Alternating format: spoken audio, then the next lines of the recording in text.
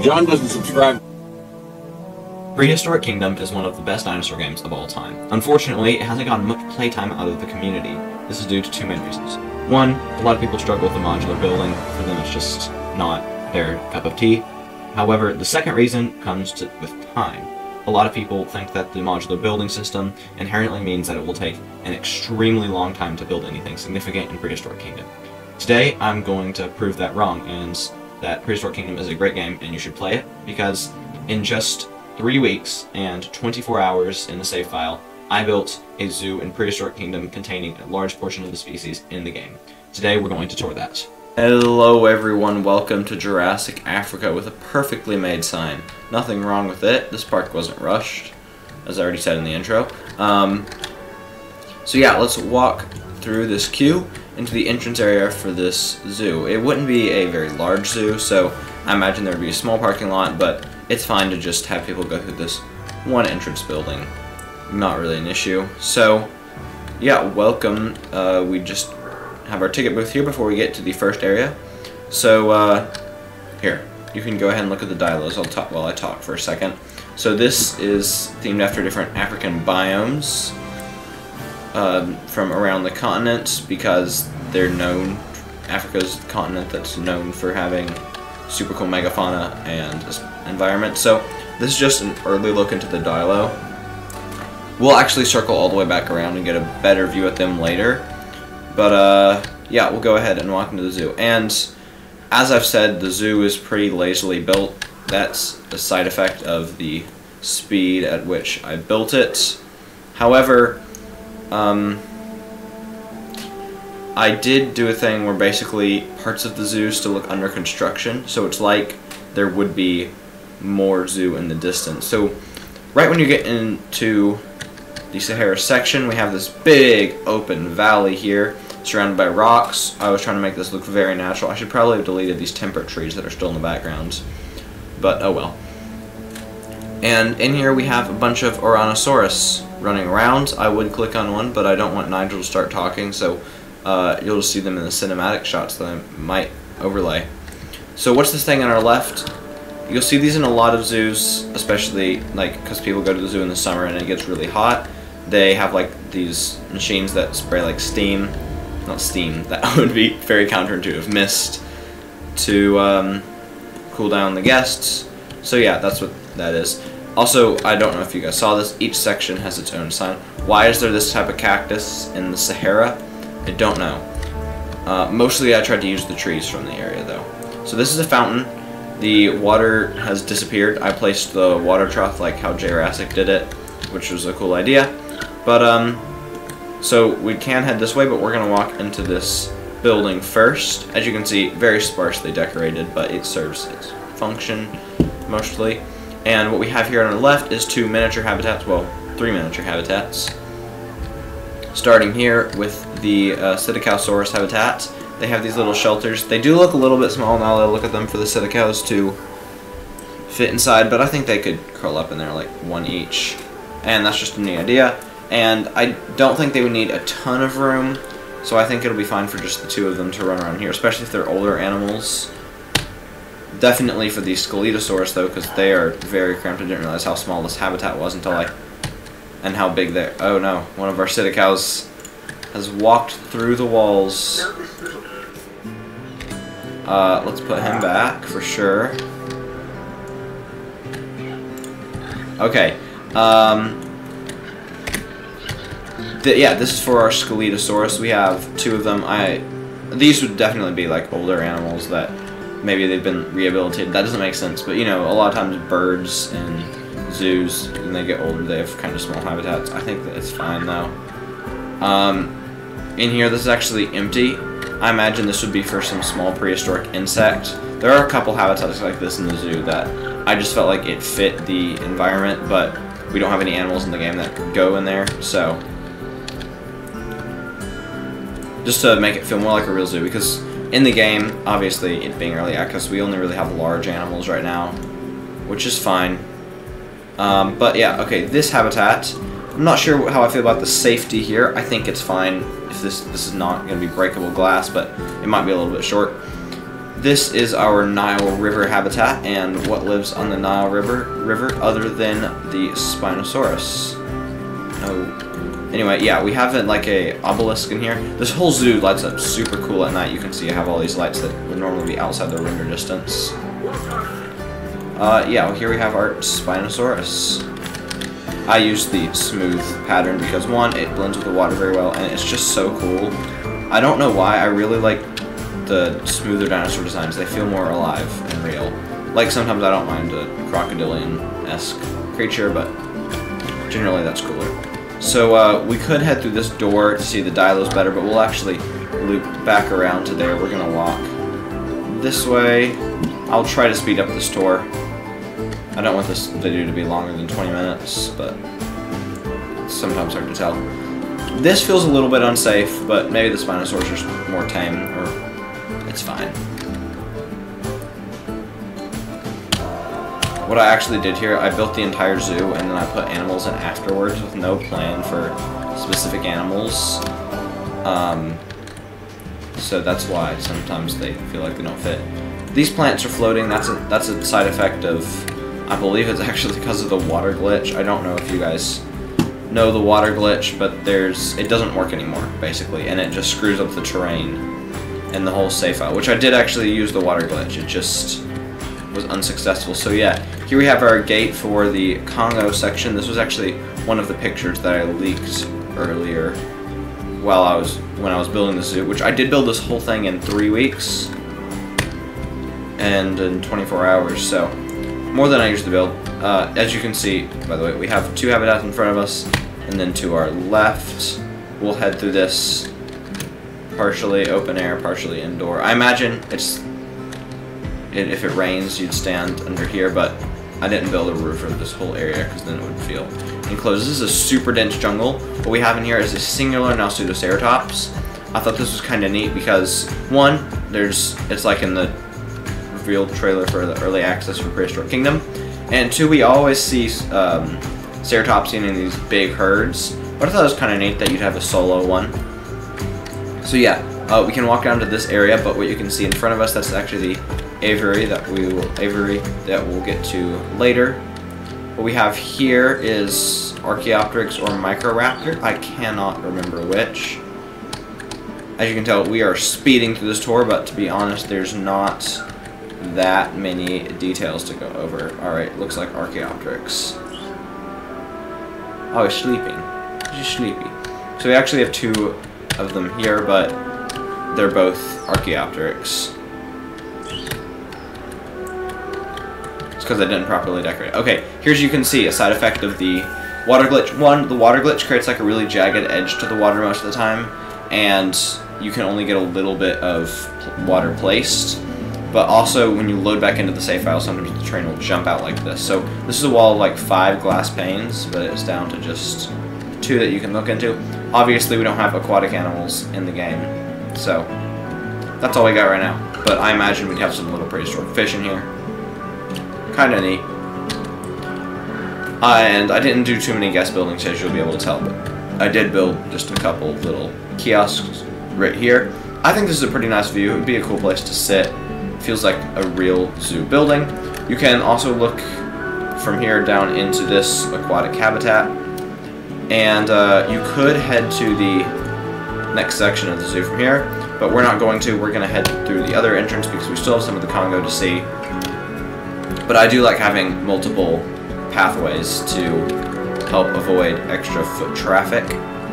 So this habitat is for is it for the lions? No, I moved the lions. The lions were originally in here.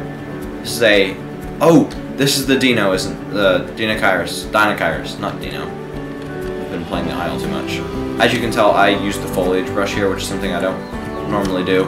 As you can tell, this... this keep saying as you can tell. This fence is really just a backdrop. And you're not meant to actually see it. Where is it? Uh, this sometimes like this when I wish we had a map in Prehistoric Kingdom. Okay, well, um, we'll see if we can find them when I do the cinematics. Hopefully hasn't glitched into some other creature's habitat or just walked out. It is a pretty large area though, so I think there's just one in here. Maybe I'll put two, but could be sleeping in any of these grasses. Wouldn't be able to find them. Oh well, there is a Deinocheirus in there. And next we'll head up into this viewing tower where we have our apex predators of the zoo, that being the Acrocanthosaurus. I didn't feel like a Rex or anything fit into here, and also Acro's the animal that I'm least likely to use, but I really like it, especially this pattern. And Acro is just a really cool animal. And, of course, it's Prehistoric Kingdom, so it has a fabulous design as well, and we have a pair of them in here. So, uh, yeah, that's that viewing tower. Any chance of seeing the Deinocheirus? Looks like we won't. Sorry about that. Um, maybe we'll see him when we go back at nighttime, though. Alright, keep your eyes peeled on the left. Maybe we can see our Nasutoceratops. Don't look like it right now. I do kind of like that they're hard to see, though, in the jungle. So now we are technically still in the Congo section, but this is a little more wetlandsy. And we have this habitat for our small herd of paras. Technically, this is Tyrannosaurus in the game, but it's not a real animal, so... No, I'm kidding. It might be. Maybe. Uh, so anyway, yeah, just a small herd. I imagine this habitat would continue farther back. Obviously, in the game, I had to wall it off somewhere. So anyway, we crossed this bridge. Safety is very important here. I don't know, maybe you can feed them. That'd be kind of cool. They are gigantic animals, though. This is definitely not safe. Um, since I tried to build a zoo-like, it's kind of built for the proportions of zoo animals, because I've... I really like zoos, so it's kind of just in the back of my mind, but... Yeah, uh, what do we have here? This big habitat is for the Camarasaurus, as you can see. But this is sort of supposed to mimic a giraffe feeding uh, platform thing. So you'd walk up here, and the sauropods could walk up, and yeah, they're actually the perfect height. We have a very classical African savanna with those termite mounds and stuff. I didn't want to put too many sauropods, though, uh, because space, you know. I did give them the giraffe pattern at least, though. Okay, so I I know I said I was not going to do too many guest amenities, but I did build one little restaurant over here with this very safe view into the river. And then we do have a chance to see our Cynotherium, but we had to put bars in the window because I imagine they're a lot like Buffalo, Cape Buffalo, where they might charge the windows. We have quite a large herd of them. This habitat kind of sits in the center of the savanna section, so it takes up lot of space. They have plenty of room for, even though there's a bunch of them. Uh, they do have a dedicated viewing platform here, though, and we can see their this sort of open valley. This guy's stuck. A well, and they have this like watering pool. It looks super neat. And I like that they sit there. Is he still stuck on that rock?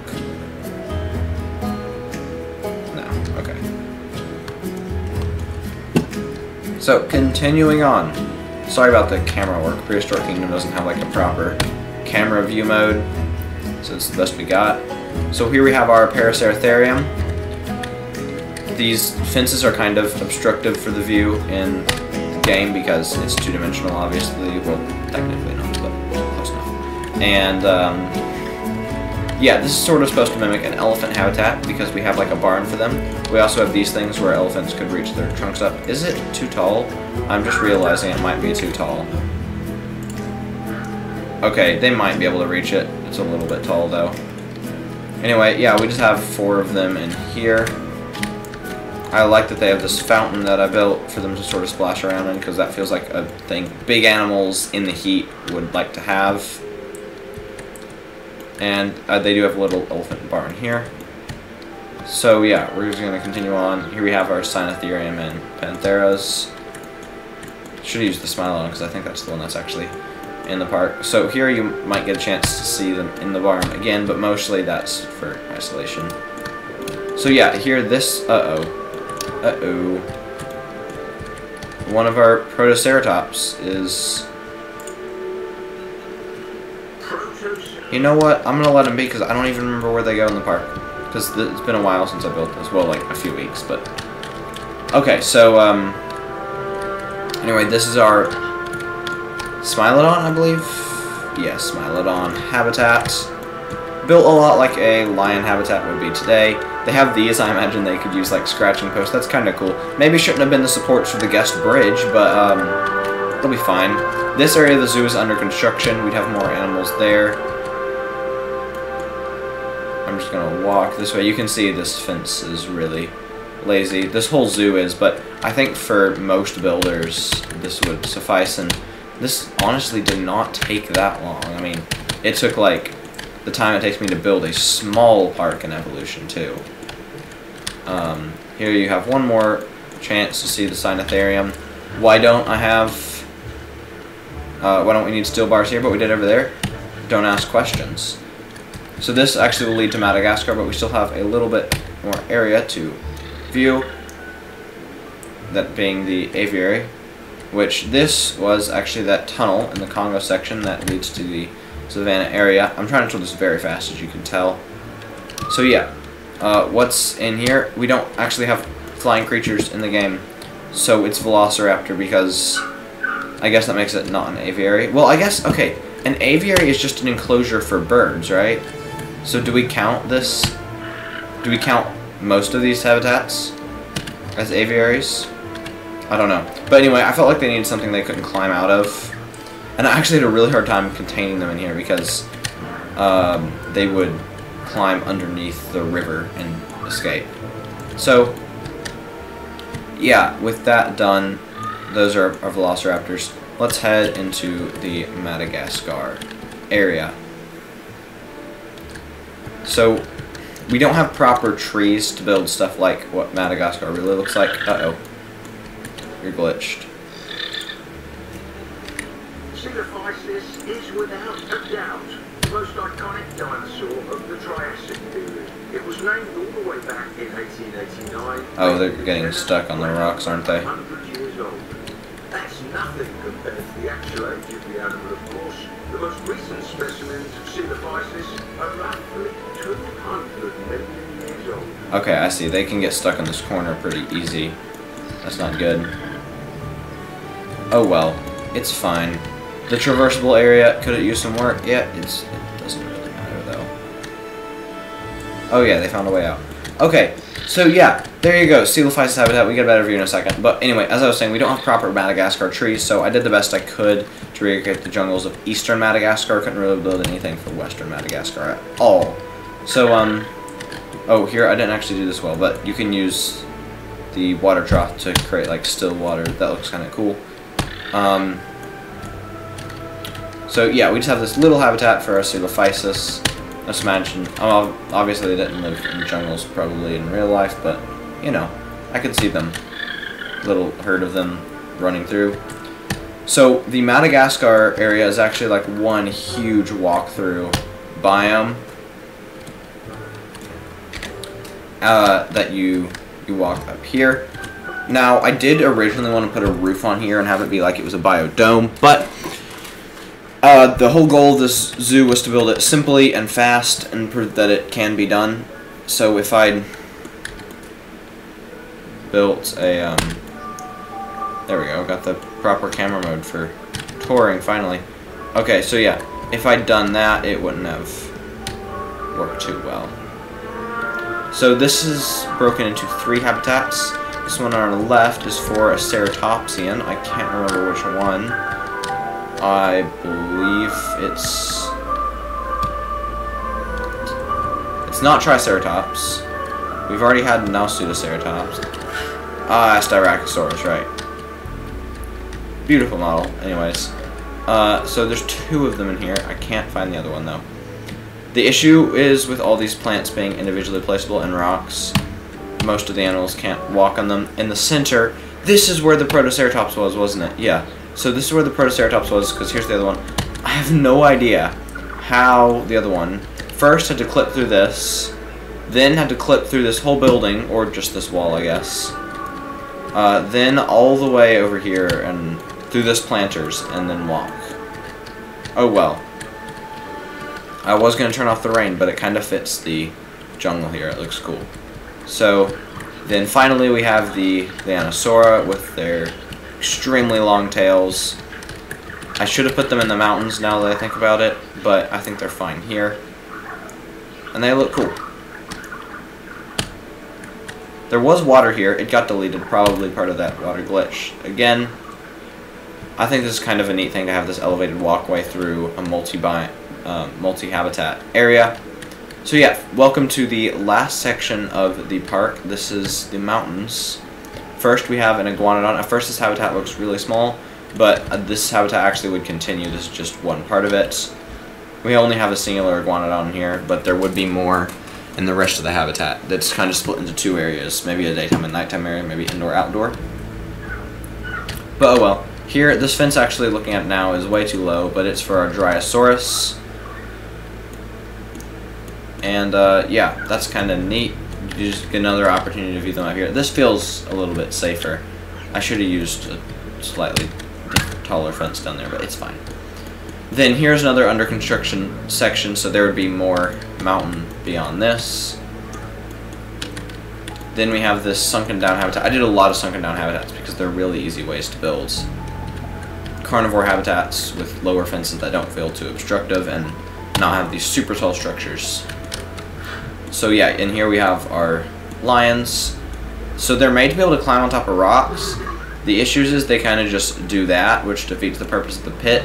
But I couldn't just cover it with rock texture. I had to cover it with rocks sometimes. And, and no matter how steep I make it, they seem to just climb on top of it. So obviously Prehistoric Kingdom is early access game. There's going to be lots of issues like that. It doesn't really bother me though, because to be honest, I don't spend too much time looking at the animals anyways. And they have a little cave in here that's it for the, no, that's not it for the mountain section because we still have our Microraptor, if I can find them. Why? Okay, some more trees have spawned in here. The water and as well as other stuff caused a bajillion glitches here, but anyway, we have Microraptors because these trees, I know I didn't place this tree here. That was probably from a tree brush that I used over here or something. So yeah, this plaza is still under construction, but we do have are Dilos. Nice chance to see them. The Dilos are super cool. And what's this? This is the um, the board for the donators to the zoo. As you can see, the the text is written out perfectly because I took my time with it. And we have all of you guys who commented on that post that I said I'd put your names on the donator board for Prehistoric Kingdom Zoo. And I did. You're welcome. Two vending machines, and we're back in Okay. Early access game, guys. Don't think about it too hard. Um, yeah, thank you guys for touring this zoo. I will now put on screen some nighttime cinematics of all our dinosaurs. Thank you.